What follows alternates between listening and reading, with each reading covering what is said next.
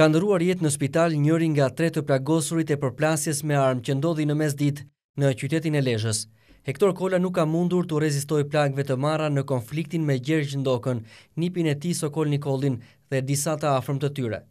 Ndoka e Nikolli mbetën të plagosur në këtë ngjarje të rëndë, ndërsa Policia e Lezhës ka vënë në pranga Xhevahir Ndokën, njëzet vjeç, pjesëmarrës në sherrin që ndodhi në qendër të qytetit. Në kërkim janë disa të afërm të tjerë të të dy palëve.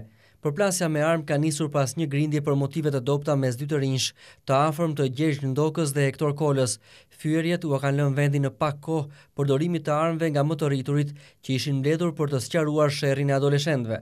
Dëshmitarë të ngjarjes tregojnë se të shtënat kanë qenë të shpejta dhe menjëherë pas tyre persona të tjerë të përfshirë në këtë konflikt janë larguar, duke lënë në mes të sheshit edhe dy makina të tyre.